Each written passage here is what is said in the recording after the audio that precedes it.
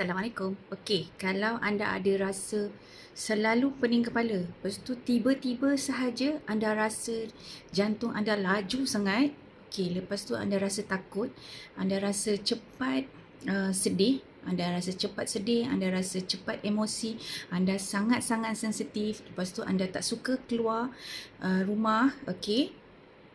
Itu antara eh, antara anda adalah seorang pesakit anxiety. Maksudnya anda ada penyakit anxiety. Okey, penyakit anxiety ni kadang-kadang kita tak perasan yang kita ada masalah itu. Sebenarnya punca utama anxiety ni sebenarnya kita overthinking, kita terlalu emosi dan juga kita terlalu mengikut hati dan perasaan kita. Okey, selain daripada itu mungkin itu atas uh, kehidupan kita, atas sebab kehidupan kita dan juga sekeliling kita kan. Dan sebenarnya anda lupa untuk bernafas dengan betul. Jadi untuk video kali ini saya nak ajak anda, saya nak share dengan anda, saya nak kongsi dengan anda ilmu yang saya ada tentang anxiety. Okey. Kadang-kadang kita pun ada rasa macam itu sebab kita manusia biasa. Kadang-kadang kita rasa takut, kadang-kadang kita rasa resah itu memang lumrah manusia, memang Allah jadikan kita pelbagai jenis um, emosi. Tapi anxiety ni boleh diubat ya okey boleh buat sendiri pun sebenarnya anda kena praktis bernafas dengan betul. Kenapa bernafas dengan betul? Bila kita bernafas dengan betul kita banyak deep breathing okey kita buat teknik 373 ataupun 377 okey pernafasan teknik 373 ataupun 377 insyaallah anda akan rasa lebih tenang. Lepas tu anda punya anxiety tu penyakit anxiety anda selama, uh, semakin lama semakin kurang insyaallah. Okey cara untuk bernafas dengan betul.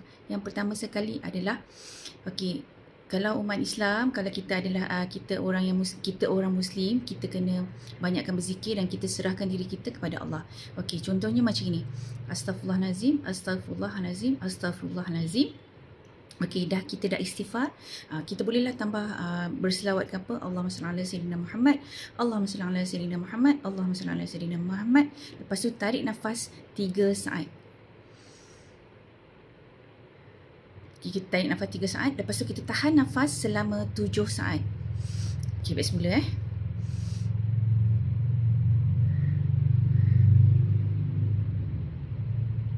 Ok semasa kita riliskan nafas kita tu kita hembus selama 3 saat ataupun 7 saat.